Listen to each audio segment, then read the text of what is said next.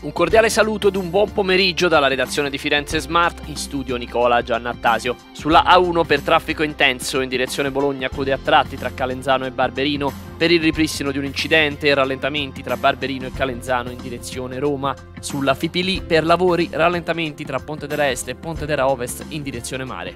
Sulla A12 è chiuso fino al 27 ottobre per lavori lo svincolo di connessione della A11 provenendo da Lucca. Sul raccordo Siena-Firenze per lavori rallentamenti in entrambe le direzioni tra San Casciano e Bargino e tra Badesse e Monterigioni. Chiudiamo con i traghetti a causa delle avverse condizioni meteo. I collegamenti per l'isola d'Elba stanno subendo cancellazioni e variazioni. Muoversi in Toscana è un servizio realizzato in collaborazione con Regione Toscana, Città Metropolitana di Firenze e Comune di Firenze. Buon viaggio!